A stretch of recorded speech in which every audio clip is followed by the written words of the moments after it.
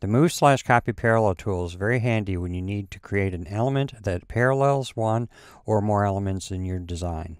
This powerful tool is located on the Home ribbon in the Manipulate group.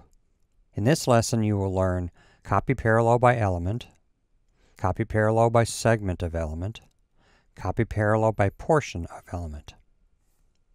Continuing in Learning.dgn, open the Models dialog and open the Copy Parallel model. In this first example, we'll demonstrate how to perform the simplest of copy parallel operations, the copy parallel element. Zoom into the green elements. Next, select the Move Copy Parallel tool, and in the Tool Settings, select the Element method.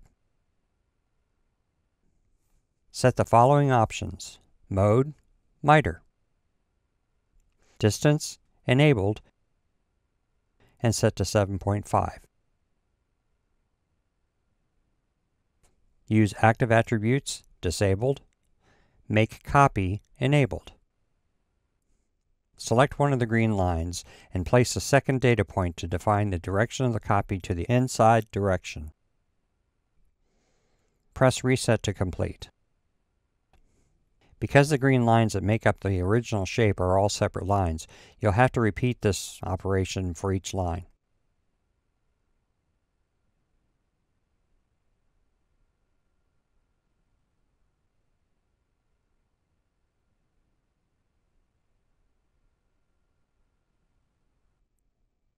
Next, we'll demonstrate a copy parallel option which rounds off the corners of the new element. Move to the red shapes in the second row.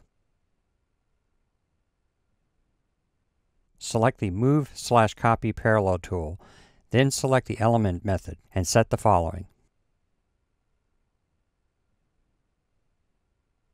Mode, Round. Distance, Enabled. Don't worry about the distance. We'll set that in a moment using a new technique. Use Active Attributes, Disabled. Make Copy, Enabled. If the distance is not specified, like in this example, you can set it graphically by defining two points. Click the Measure Distance icon adjacent to the Distance field. Snap to the midpoint on one of the sides of the inner shape in the left example, and then on the midpoint of its parallel copy. The distance is now set to 6.8. Select the red shape on the right Place a second data point outside the shape and click Reset. The entire shape is copied. In this example, we'll copy parallel one segment of the original element rather than the entire thing. First, undo the element creation from the previous exercise. Select the Segment of Element method. Select any segment of the red shape and enter a data point outside the shape. Press Reset to complete. Note how only that one segment was copied. This time we'll be copying a portion of the source element by identifying start and stop points around the element. Once again, undo the last action. Select the Portion of Element method.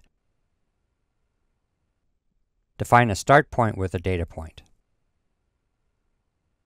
Moving the cursor along the element, enter another data point to identify the endpoint of the segment to be copied. Enter a data point outside the source element and press Reset to complete the operation. Finally, let's see how we can copy parallel more than one element at a time. Move to the orange elements at the bottom of the element set we select Move slash Copy Parallel and set the following.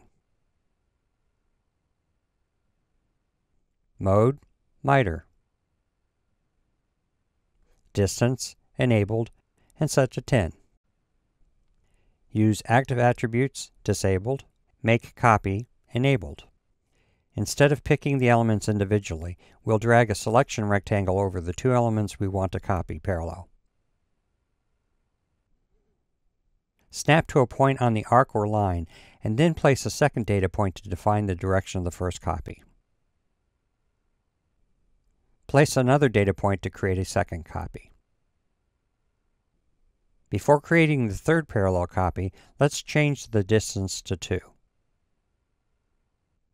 Data point one final time to create the third copy. Press Reset to complete the operation. In this lesson you learned copy parallel by element, copy parallel by segment of element, copy parallel by portion of element.